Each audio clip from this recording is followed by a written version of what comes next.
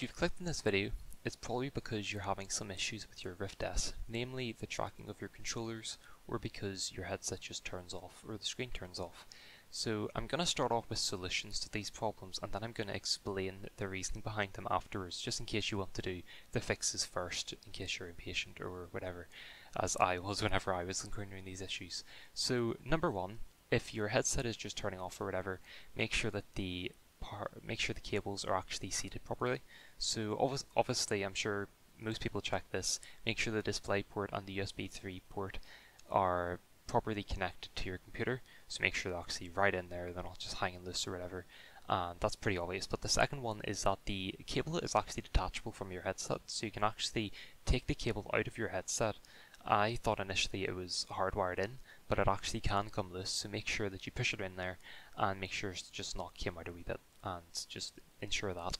The second thing is if you go to control panel on your computer in the search menu, you go to power options, you go to whatever power plan that you have, go to change plan settings, go to advanced power settings, go to USB settings, the USB selective suspend setting, make sure it's disabled.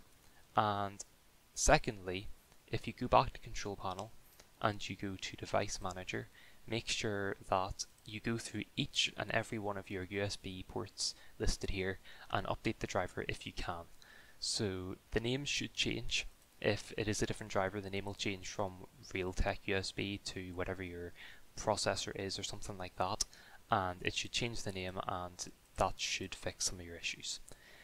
The reason behind all these fixes is with the resetting of the cable, it is very easy if you're playing Beat Saber or an abandoned game where you're very active. It's very easy for the cables to become loose from either your computer or your headset. You might be pulling in the cable a bit, it might come loose, but a lot of people don't know that the cable to the, your actual Rift S can come out of your Rift S. I, as I say, initially thought it was hardwired until I watched a video and someone said, yeah, just push the cable in. And mine, mine wasn't loose, bear in mind. But I know a lot of people have said, yeah, this actually fixed my issue.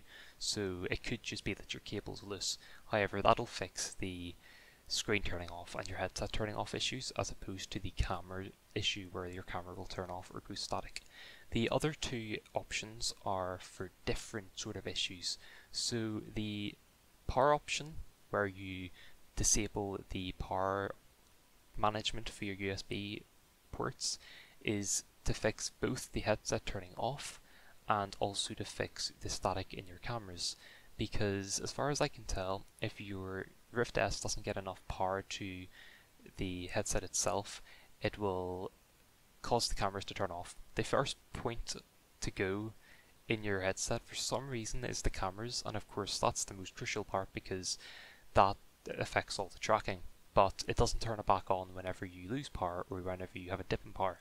So the power management settings, if it's enabled, will manage the power to your USB ports. I assume because if you're using USB stick, you plug it in, you do whatever in USB stick, you leave it plugged in and don't use it for half an hour say, your computer might say, you haven't used USB in like half an hour, I'm going to turn it off or I'm going to reduce power to it. So it still detects that the USB port's there, and it still detects that the USB stick is plugged in, but until you actually click on it or you open File Explorer, it won't provide full power to it. So as far as I know, that's what it does, and for some reason it still manages the it manages the Rift S's port, even though there should be constant data and constant power going to the Rift S at all times. So I don't know why it does it, but that is one thing which can both turn off the headset and also turn off the cameras. The last one, where you update your USB ports, is exclusively for the camera issue, because it's what fixed my issue. My issue was that the cameras were turning off, and I had no idea why. The cameras turning off, my, my controllers were just floating in midair. I could rotate them, but they wouldn't move, and I could also go into the pass-through plus menu mode feature whatever and my cameras would be pure static I couldn't see my room so the fix for this is just update your drivers. It fixed my issues. However it doesn't fix all occurrences of the staticky camera issue. Your cameras basically turn off whenever there's not enough power going to the headset which is fixed by the solutions that I've given. However it will also do it if you're taking the headset on and off multiple times. As far as I can tell, the, the headset goes into sort of like semi-standby mode whenever you take the headset off your face. So the screen will turn off, it'll stop tracking, and it'll still send output to your computer. So it'll still say, oh, I'm here, or whatever, but then it just kind of turns off, turns back on, turns off, turns back on, because you'll see if you're using Beat Saber and you've got the game actually open and you're looking at whatever your headset's saying, it'll actually kind of have a wee episode where you'll be sitting the you'll be sitting there, the headset will be on your table, and suddenly you'll get tracking back and you see exactly what your headset's seeing, then it'll just turn off again. Then it'll turn back on, turn up back, back off again. So if you're taking the headset back on and off your head multiple times, it just it's essentially going to start in standby multiple times in a row. Which if you know by using like a computer, if you put your computer into standby instead of turning it off, it causes performance issues. It's better to just turn it off completely and then turn it back on completely instead of turning into hibernation or standby.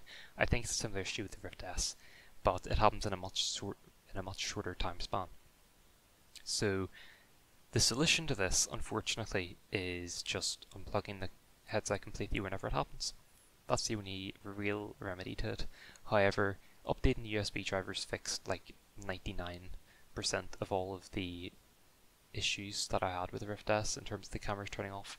The only cause left for me is if I've got friends around or if for whatever reason I'm taking the headset off and putting it back on multiple times in one play session, it has a chance of causing the headset to just have an episode where the cameras just turn off. So I think it's an issue with the standby mode. However, I can't confirm that, but I do know that updating the USB drivers did fix my issues and it does still happen when you're taking the headset off and on, but when you're just playing Beat Saber, you won't lose tracking anymore. Or if you're playing a normal VR game, whatever, it you just won't lose track anymore because your camera's turning off. It won't happen because the cameras won't turn off because I think the USB drivers that you update to, I think they're provided by Oculus or at least by your processor, and it will provide constant power. If that doesn't work, you can also get a USB 3.0 hub which is powered by a socket on your wall and is connected to your computer via a USB 3 port. And you can use that and it should work as well. However, I would try this first because it's free and it doesn't cost you any money. So I would try that and if it doesn't work, the USB 3.0 Window hub might work and if it doesn't work, let me know and I will try and find another solution. I might not be able to, but I'll try. So anyway, that's it. So I hope this helped and yeah, uh, bye.